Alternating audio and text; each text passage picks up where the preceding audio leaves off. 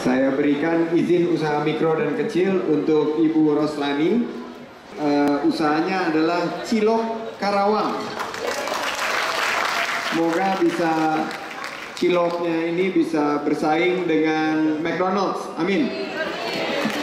Kepada Ibu Nur Hayati dari Pelangi Cake. Andalannya cake yang apa Bu rasanya Bu? Saya jual kue aneka kue kering, kue basah, uh, kue-kue tradisional sih kebanyakan. Kita doakan Pelangi Cake ini akan laku selama bulan Ramadan. Mudah-mudahan gak kalah sama Harvest. Amin. Bayangin kalau ada cilok tadi, kalau ada cilok juga di Basura Mall, itu merupakan suatu kebanggaan kita sendiri. Kita ingin juga bahwa brand-brand lokal kita mendapat tempat di mall, oleh karena itu OKOC kita harapkan hadir memberikan nuansa baru buat kita.